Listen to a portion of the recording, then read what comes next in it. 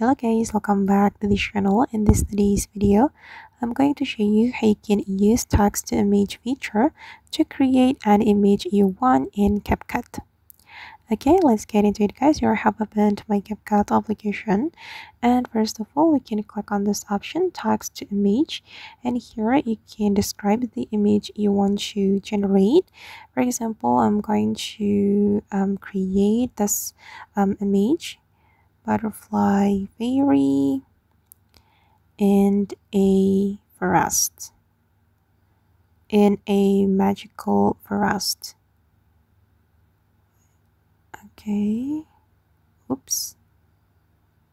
All right once you're done adding the description you can click on generate and the ai will generate um an image for you wait guys it's still loading. You just need to wait until the generating process has completed and there will be some um, options for you and you can choose it um, as you like.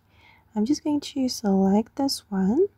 Click on the image you want to save and then you can click on save right here.